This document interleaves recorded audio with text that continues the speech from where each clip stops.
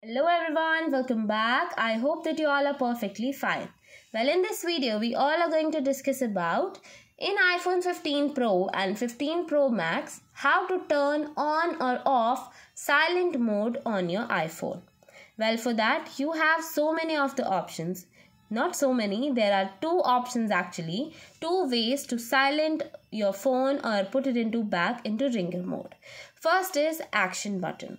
On the volume up and down button onto the left side you can see there is also a small button that is called action button.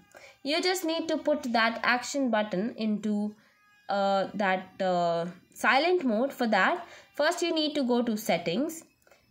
Go and search for action button as you can see and now here are so many of the options to choose for the action button but you just need to go for silent mode. Now came back to the main interface. Now press and hold to that action button on the top of the volume buttons.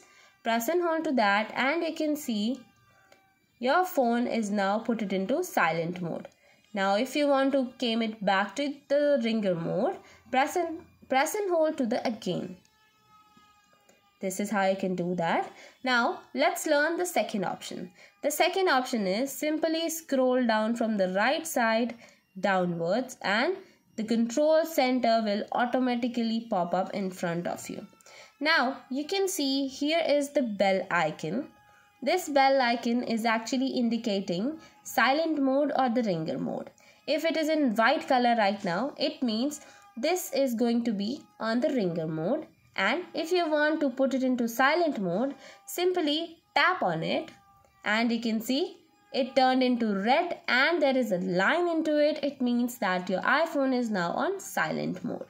Now to again do that put it uh, press and press it into that and your phone will again convert it into ringer mode so this is how you can do that.